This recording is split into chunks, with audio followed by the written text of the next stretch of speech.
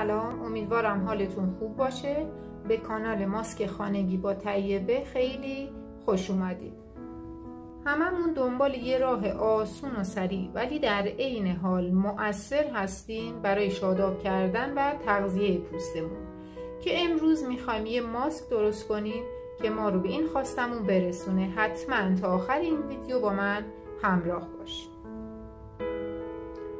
برای تهیه این ماسک فوقالعاده ما نیاز داریم به آووکادو، شیر، جو دو سر. دو قاشق چای خوری جو دو سر رو میریزیم توی ظرف.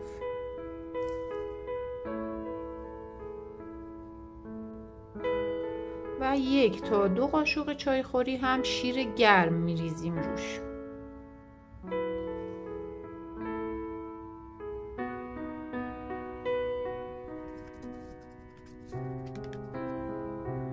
بعد از اینی که شیر رو به جوی دو سر اضافه کردیم ده دقیقه بهش زمان میدیم تا جوی دو سرمون نرم بشه و بعد ادامه ماسک رو با هم انجام میدیم. جوی دو سر نرم شده و الان دو قاشق. باید آووکادو بهش اضافه کنیم. یه ماسک من قبلا درست کردم دوستان. با آووکادو درست میشه. برای آبرسانی پوست. بسیار مفیده. حتما لینکش رو من این بالا می‌ذارم. برید ببینید این ماسکو. این ماسکو ما می‌تونیم دوباره بریزیمش تو بلندر تا نرم بشه. راحت تر استفاده میشه ولی همینجوری هم قابل استفاده است. ماسکمون آماده است و می‌خوایم به پوستمون بزنیمش. با دست بر میداریم و روی پوستی که از قبل تمیز کردیم می‌ذاریم. پوست صورت پوست گردن. دور چشمتون هم می‌تونید از این ماسک استفاده بکنید.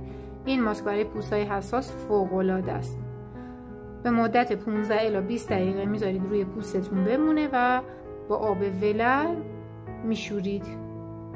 در آخرم که یه مرتوب کننده به پوستتون بزنید. این ماسک به هیچ عنوان قابل نگهداری نیست و بلا فاصله باید استفاده بشه. باقی مونده ماسک رو اگر چیزی مون حتما دور بریزید.